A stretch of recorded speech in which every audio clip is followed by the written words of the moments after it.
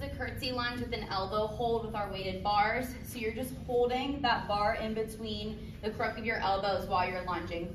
Keep your elbows nice and high up for the ultimate support. You're just doing a curtsy lunge side to side for this first part of this movement as you keep your chest lifted the entire time. And then we also have pulses.